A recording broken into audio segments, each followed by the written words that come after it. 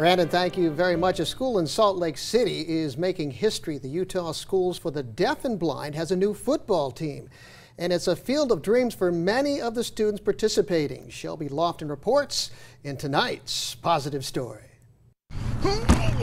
Blocking, tackling, catching. It's the basic skills of football. The players on this team use their hands more than most. We have the players who are using signs. So we have that. Um, we have our own communication rather than spoken language. These athletes are deaf or hard of hearing, so playing a team sport isn't something they take for granted. In fact, it's something students have asked for. When students come to you and say, I want something, you want so badly to give it to them. You want so badly for them to have it. And for this year to say, you got it, I'm like, I'm sorry. I'm excited for him. These 80 yards of grass are a field of dreams for athletes with a communication barrier. I wanted to be part of football.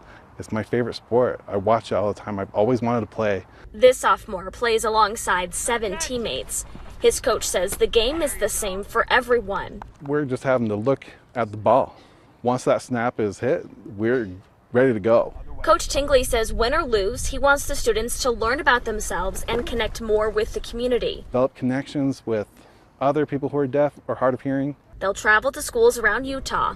The dream is to play against other schools for the deaf across the country. The game itself is, is still the same, whether you're deaf, hard of hearing, or if you are a hearing individual that can speak, it's still just a game.